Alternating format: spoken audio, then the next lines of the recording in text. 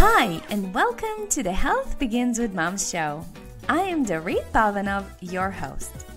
On this podcast, I will share insights and interviews on health, parenting, and explore the question of what does it take to thrive as women, wives, and mothers. Now, let's get going with today's episode.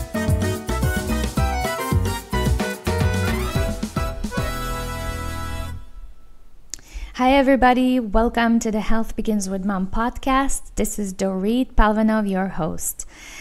Before we begin, I want to remind everybody that you can find the show notes from today's episode over at my website, healthbeginswithmom.com forward slash EP dash 32. This is also the place where you can find whatever I'm going to talk about in written format, in a blog format. So it, we are going to cover quite a lot today. So if you feel like, oh my gosh, I need to take some notes, don't worry. It's all available for you over at my website. Also, the doors to the Thrive Mastermind for conscious mothers who are raising girls are currently open. If you want to learn how to take back control of your health and how to teach healthier eating and lifestyle habits to your daughter, this is the place for you. You can find the application in the show notes on my website. Again, it's healthbeginswithmom.com forward slash EP32 or in the description section if you are listening on iTunes or Stitcher. All right, so today's topic is what your menstrual cycle can teach you about your body. And the question that I love asking women is how much do you really love and appreciate being a woman? Come on, be honest. How much do you really love bleeding every month? How much do you really appreciate the fact that your mood shifts every two seconds? How much do you really love the fact that anything can make you cry, that you can't shut your mouth when needed, you feel guilty about pretty much everything, and that everything feels right and wrong at all at the same time? Oh, and you also know that fe- and you also know that feeling that you have to apologize for everything. Right? So how much do you love do you really love that about yourself? Then how about your constant search for balance? I don't hear men looking for balance. How come they have it and we don't? Admit that you feel unappreciated at home because it is clear that you do so much more than your partner. Your work never ends. And mine too. We've all been complaining that we have two shifts. One starts once you leave the home, and then the other starts once you come back home. How do you feel about the biological clock question? You know, is it time to have a baby or should I wait or should I not? How much do you love your female body? How much do you love these curves of yours? Stretch marks, the saggy belly that you've earned after multiple pregnancies. Oh, and don't get me started talking about being pregnant. I mean, up to six months, it, six months, it was kind of cute, but after that, I personally felt like a whale or maybe a sea lion. So, are you with me so far? and then there are deeper, deeper layers to this question, deeper um, layers pertaining to your womanhood. As women, I think we all struggle with setting boundaries to protect ourselves and our families. But how do you do that in a way that doesn't make us look bad, right? Remember that, you know, that icky feeling you get. How about knowing what you want with regards to your life's purpose? You know, I hate that question. What do you mean what I want? I want everything and I want it now. How about the feeling we all have that we are in constant competition with no other than other women? I mean, how absurd is that? I love this quote. It says, A flower does not think of competing with the flower next to it it just blooms. So let's just be like these flowers, right? Let's just all bloom and thrive. And how are you doing with regards to the most complicated relationship you'll ever have, which is with your mother?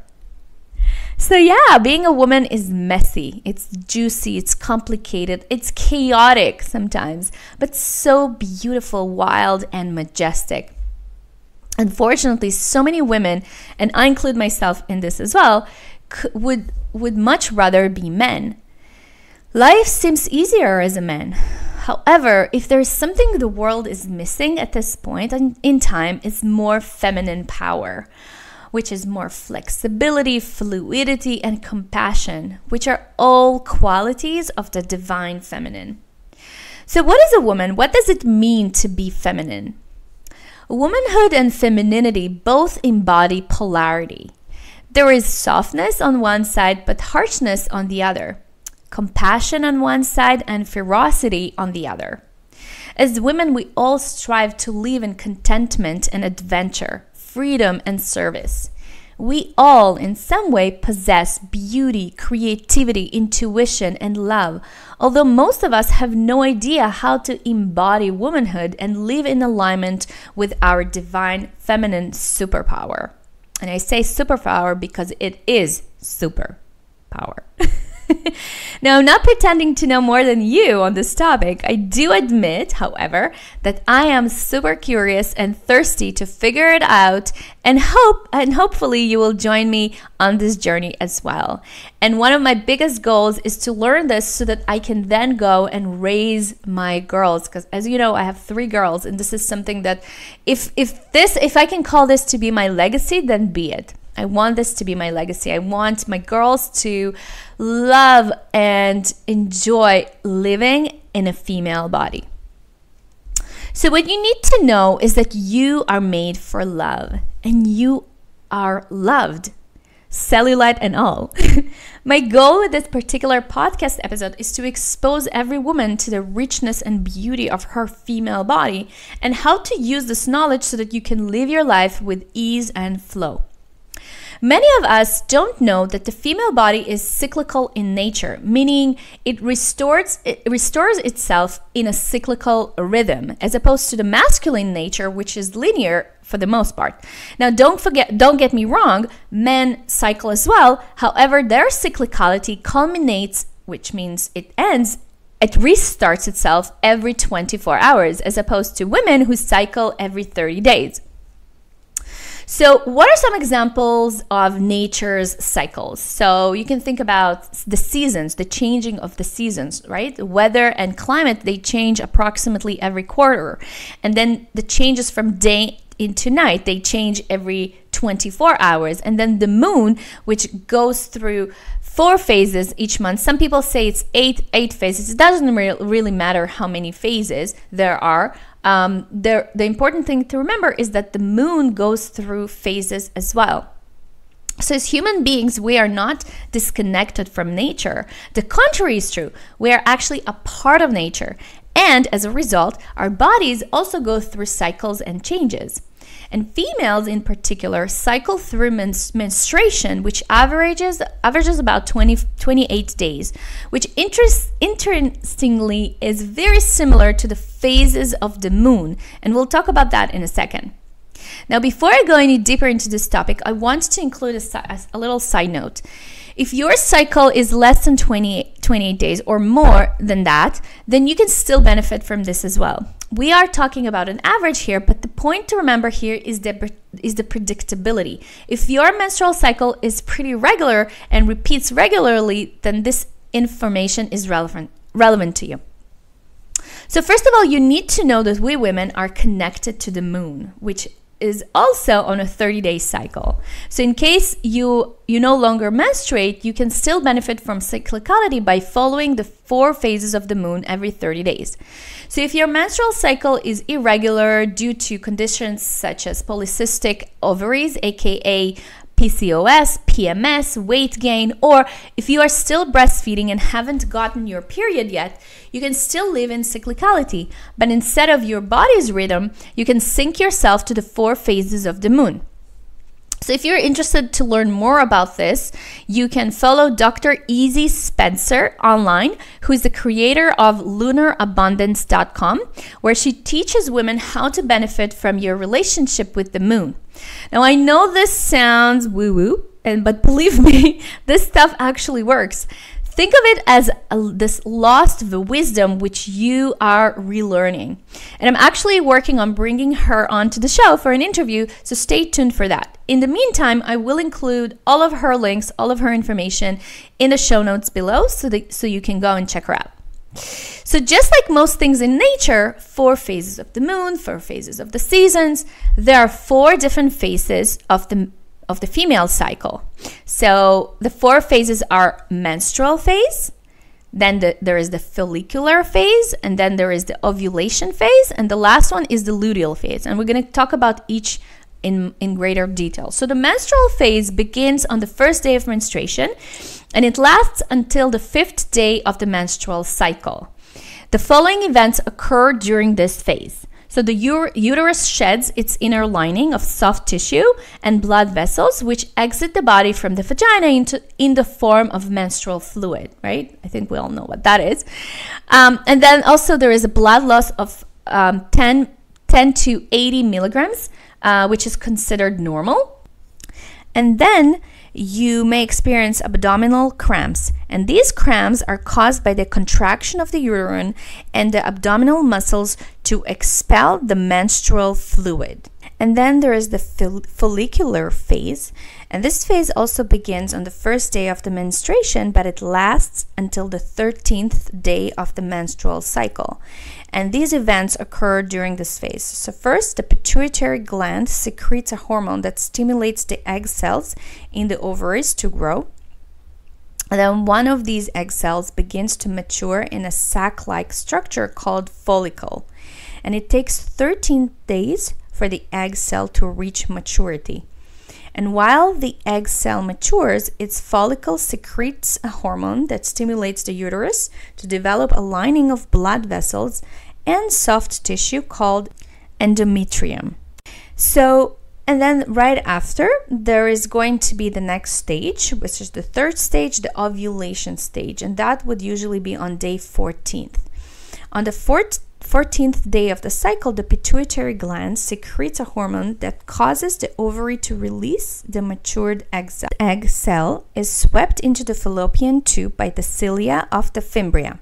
Fimbria are finger-like projections located at the end of the fallopian tube close to the ovaries, and cilia are slender hair-like projections on each fimbria. And after that, we get into the luteal phase, which is day 15 to 28. This phase begins on the 15th day and lasts until the end of the cycle. And the following events occur during this phase. So the egg cell released during the ovulation phase stays in the fallopian tube for about 24 hours. If the sperm cell does not impregnate the um, the egg cell, at that time the egg cell disintegrates. The hormone that causes the uterus to retain its endometrium gets used up by the end of the menstrual cycle. And this causes the menstrual phase of the next cycle to begin. So, throughout these four different phases, your hormones are at alternating levels. So, your energy, your diet, your willingness to social, socialize, and emotion, and also your emotional state differ from phase to phase. And I think this is key, and this is what most of us are not taught. As females, we're only thought about the menstrual cycle, and the most and and most of us know nothing about the other three phases and how to eat, exercise, and optimize them for overall health and vitality. Vitality. And today I want to teach you how you can use these this information so that you can thrive at work, at your relationships, at your parenting, at your marriage, and in other important aspects of your life. So, this is what I mean by saying owning your divine feminine superpower. So, here we go. Let's start by talking about how your diet should vary during each phase. So, the one thing to remember throughout this entire process is that estrogen the, the female hormone needs to be excreted properly and efficiently from the body. And the best way to do it is via food. So most symptoms that occur from hormonal imbalance imbalances imbalance issues are the result of excess estrogen. And then the foods I'm going to mention here, they support the, metaboliza- the metabolization of estrogen through your elimination organs and the removal of that unwanted excess from your body, right? So, what I'm talking about here is that you need to poop, you need to sweat, you need to pee, you know, all of these elimination organs, you need to bring them out. This estrogen cannot stay in the body. And when it stays stuck in the body, this is where, this is when you will experience symptoms like acne or um, PCOS or um, weight weight problems or um, you know hair gain or hair hair loss. Um, all of this stuff is because of excess estrogen that is not efficiently excreted out of the body. So I'm going to talk about generic foods here. However, inside the Thrive Mastermind is where we're actually going to do much, we're getting much deeper into this, and you will actually get a complete meal plan with recipes from me based on this exact philosophy. All right, so just keep in mind that this is all, all very generic. So during the follicular phase, which is before you ovulate and after your period, you should be eating foods like artichoke, broccoli, carrots, parsley, green peas, spring beans, and zucchini. And then when it's time to ovulate, um, which is during the ovulatory phase, you would eat foods like asparagus, Brussels sprouts, chard, um, scallions, and spinach. And you can see that these foods are mostly green, and there is a reason for that because green is the color of uh, of rebirth, right? And this is the time of the month when you actually have the potential to create life. So a lot of li- these foods they have a lot of life force, and you will also see that during this time of the month you would crave foods that are uh, raw and, like I mentioned, they have a lot of life force in them. So this is a great time to consume raw juices and consume um, uh, green shakes and smoothies and stuff like that. And then during the luteal phase, which is before you have your period, you would eat foods like cauliflower, collard greens, uh, daikon, radish or uh, regular radish, onions, parsnips, squashes, and sweet potatoes. So you can see that here we're getting ready to excrete that um, um, that lining from the uterus and so the, the the body is requiring more of more foods that are coming from the ground. They're very earthy. Most of them um, grow below the ground and this is because this is the energy of the, the energy of the food needs to be supporting um, that um, that phase that you are at during this time of the month. And then uh, we're getting into the menstrual phase, which is when you have your period. So you would eat foods uh, like beets, kale, kelp, mushrooms, foods that are uh, very soothing and very comforting. So you would crave a lot of foods like um, soups and stews and chilies and beans and like really warm foods.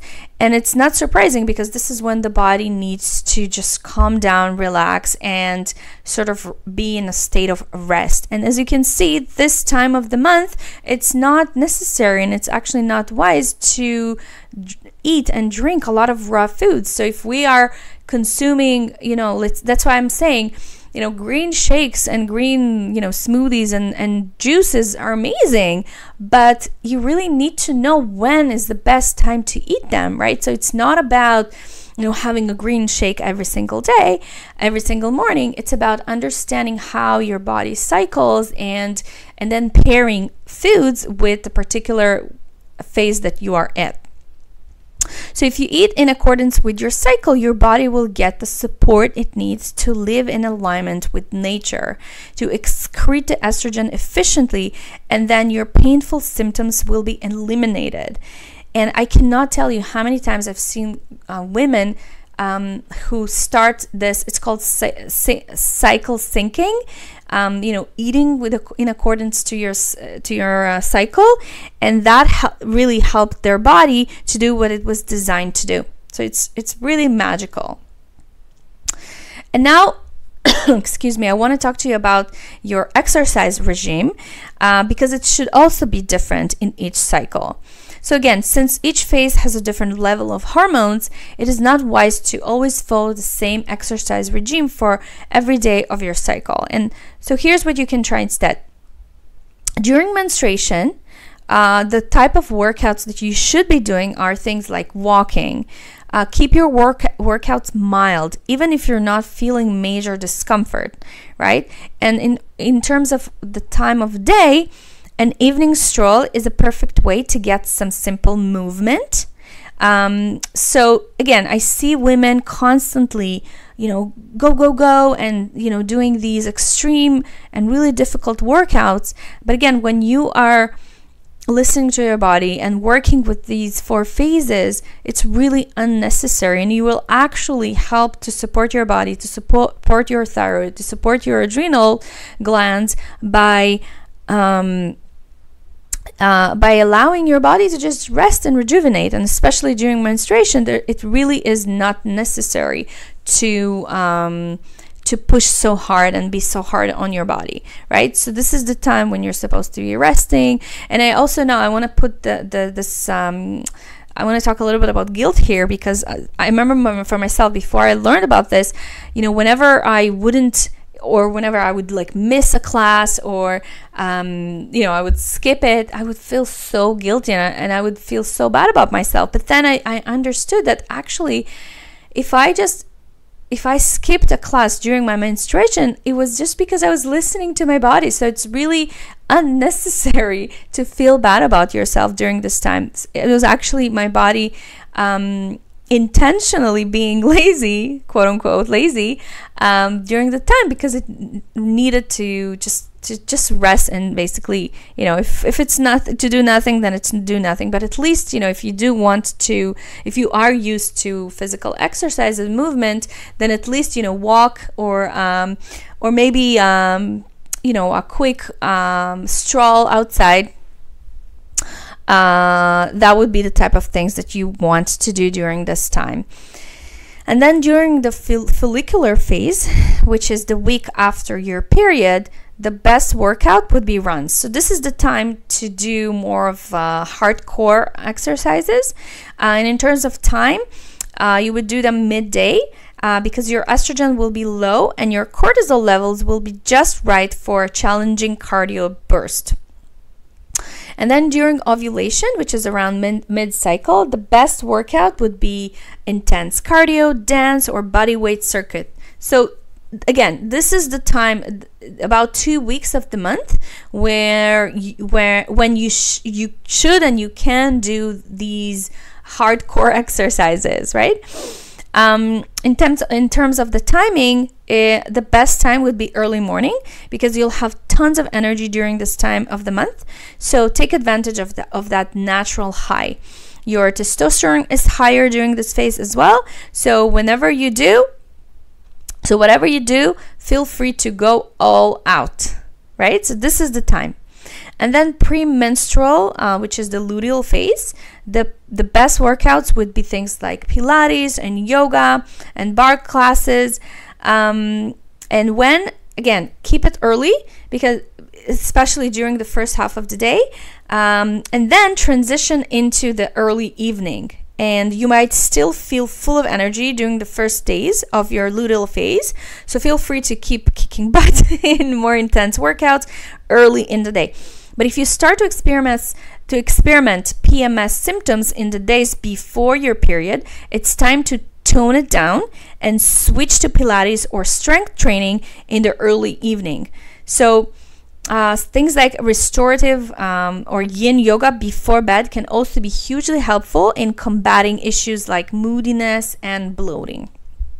All right, so this is really good stuff, and uh, I really hope that you um, uh, take that information and actually go go out and try and try to see how your body reacts to um, different exercises, different movement uh, during different times of, of your menstrual cycle, of your, not menstrual cycle, of, of your cycle. All right, so now let's talk about how your social and mental state changes during each phase because that also changes. And you probably already noticed this, right? So you know how sometimes you're you're feeling magnetic, energized, and dying to meet new people. And other times in the month, you feel withdrawn, antisocial, like you need to do some meditating or maybe reflecting. So, if yes, and I think for most women, we we we are feeling like that. We are just not may- maybe not aware or not conscious of it. So if yes, then you're actually already cycle syncing without even knowing that. So I'm going to talk about where to put the female social and energetic focus during each phase. So during the first phase, which is um, let's start with the menstrual phase. This is where this is where your sage, um, wise woman uh, is coming out. This is when you're bleeding, you're and in terms of emotional state you are you, you're feeling more reflective and passive and more withdraw- withdrawn. So subconscious in, intuition uh, you have more of the of an inward focus for creativity. And this is the best time for inner processing creative reviewing journaling um, you know, looking at the core of things, really re-evaluating, ref- reframing, uh, reframing, letting go of things. Um, this is where um, new ideas will start you know coming up uh, you will have a lot of intuitive creativity and you will crave your body will crave rest and renewal and then during the next phase, phase which is the follicular phase, this is it's also called it's called the maiden and the virgin phase. Um, it's a very dynamic, active. You have um, increased consciousness, uh, more awareness this time, and the best. This is the best time for mental creativity, for learning, for clarity, for concentration, for researching, for structural thinking, independence, and also physical stamina. And you will also you'll feel it. You'll feel like you have this oomph like you're so energetic you have so much energy you feel like you want to just you know go out there and do more and then during the um, the the next phase, which is your ovulation time, it's also called the mother energy. Um, you would have um, a lot of passive and outgoing conscious uh, reasoning um, you will have outward focus for creativity and this is the best time for communication for empathy for productivity for teamwork for supporting others for emotional creativity and creating relationships. So this is the best time of the month to go out for meetings for having to have um, sales calls because because you your body is giving you this um, extra rush of hormones um, this is the best time of the month to go out and actually do these things, right? So, if in cases where you are creating your own schedule, that would be the best time to schedule um, talking to as many people as possible because this is the best time of the month, as opposed to when you're menstruating, uh, I think it's best to schedule things that are requiring less contact with other people. And I think the the really amazing things thing about knowing this is that you are not feeling guilty constantly, and you're not feeling like, oh my gosh, what's wrong with me? Like, can't, why can't I do this or I can why can't I do that? This way, you're actually living, and again, you're owning and living um, in alignment with your uh, feminine superpower. And then during the fourth phase, which is the luteal phase, um, this is where your wild woman um, energy is coming out, right? You would feel more creative, active, um, you will have increased subconscious awareness. Uh, this is the best time for inspired creativity, out of the box kind of thinking, problem identification, problem solving, and also assertiveness. And you will feel that. You, a lot of women tell me that during this time of the month, they they feel like they um, they want to create they want to get things done right? So and it's it's it's just it's amazing how the body is you know how the body works and all this you know cyclicality. And once you understand that you really start shining um, and you know i call it thriving so in general during my period i spend lots lots of time alone reflecting journaling and taking long baths um, I say no to most social situations when possible, and I use this time as a way to reflect on the past on the past month to see what worked and what didn't. Think think of uh, this time as a time when your body is actually shedding a lining and for you to shed specific habits, people, or hobbies that are no longer serving you. Right? So it's sort of like a little spring cleaning, cleaning if you will. And then during the follicular phase, um, this is when I set goals for myself and I plan out my month. I also set intentions for myself and my career.